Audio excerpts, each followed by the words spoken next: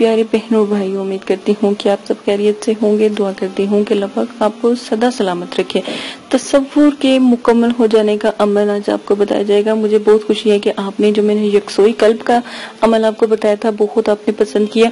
دیکھیں، یہ جو آج میں آپ کو تصور کے مکمل ہو جانے کا، آج میں آپ کو تصور کی دنیا کے بارے میں بتانا چاہوں گی کہ یہ مت سوچیں کہ آپ کوئی تصور قائم کرتے ہو، کسی بھی دنیا میں چل رہے تو وہ بھی ایک دنیا ہے۔ خواب کی کیا دنیا نہیں ہوتی؟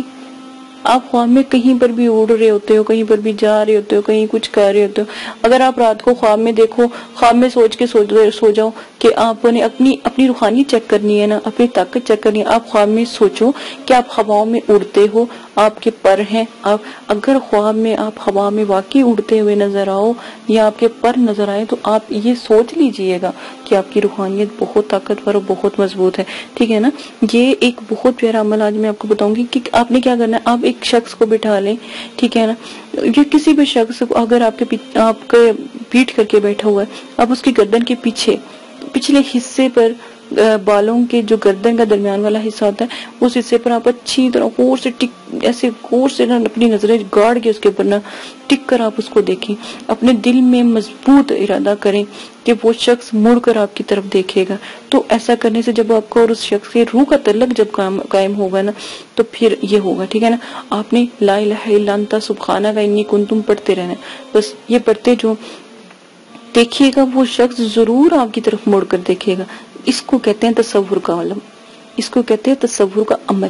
ٹھیک ہے، یہ تصور کو مکمل کرنے کا عمل بتا رہی ہوں۔ اپنی آنکھوں کو بند کر لیں، اپنے کسی دوست یا رشتہ دار کا خیال اپنے نقش میں جما لیں۔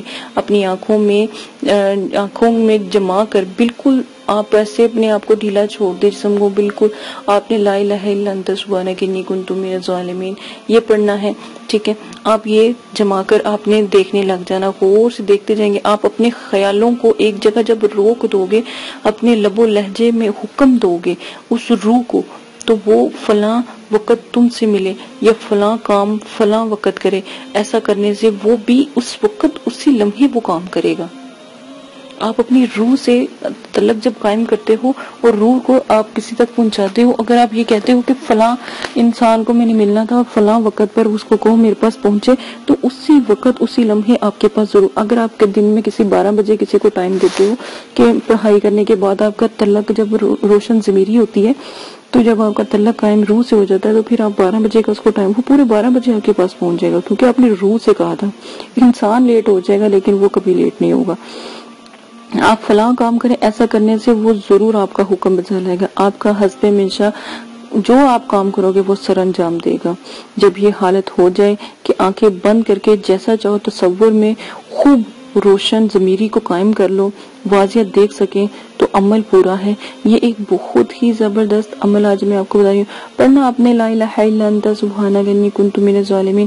کتنے دن پڑھنا ہے، کتنے بھی دن آپ پڑھ سکتے ہو۔ اکیس دن تک اس کی میادت تین چلے آپ کر سکتے ہو۔ اکیس دن کا ایک چلہ۔ ایک مہینے میں اکیس دن، دوسرے مہینے میں اکیس دن، تیسرے مہینے میں اکیس ایک میرے بھائی تھے، انہوں نے کہا تھا کہ آپ ہی ہم محرموں کے دن عمل نہیں کر سکتے محرموں نہیں بھائی، حاضرات نہیں کر سکتے یعنی موکلین پریوں وغیرہ کی حاضری نہیں کر سکتے۔ عمل کی پڑھائی میں خلل پیدا نہ کریں۔ ٹھیک ہے، آپ جب مرضی عمل کر سکتے ہو۔ ٹھیک ہے آگے بند کر کے جیسا چاہیں تصور کو آپ قائم کریں۔ مقناطیسی قوت ہزار گنا آپ کی جو بڑھ جاتی ہے۔ جب جیسے مقناطیس اپنی طرف چیزوں کو کھینچتا ہے نا، بالکل اسی طرح پھر آپ جو جو لوگوں کی، لوگوں کو اپنی طرف کھینچنا آپ شروع کر دو گے۔ اسی بات سے اسی طرح آپ لوگوں سے بات چیت کر سکتے ہو، لوگوں تک پہنچ سکتے ہو، قوت ارادی کو مضبوط بنا سکتے ہو۔ اس مشق کو جاری رکھیں کیونکہ ڈھیلی گرفت کام نہ دے گی۔ یعنی کہ اگر آپ اپنی کمزوری مطلب کہ کرتے ہو، پھر یہ جو مشق ہے، وہ آپ کے بالکل کام نہ آئے گی۔ ٹھیک ہے؟ تو اگر آپ اس کو بلندی اختیار کرنا چاہتے ہو، تو کم از کم ایک گھنٹہ لازم لگایا گیا تاکہ آپ کا تصور روح کا جو عمل ہے وہ قائم ہو جائے۔ اسی کے ساتھ اجازت دیں، اپنا خیال رکھیے گا، دعا میں یاد رکھیے گا۔ اللہ پاک آپ کو کرنے کی توفیق عطا فرمائے۔ اجازت دیں۔ اللہ حافظ۔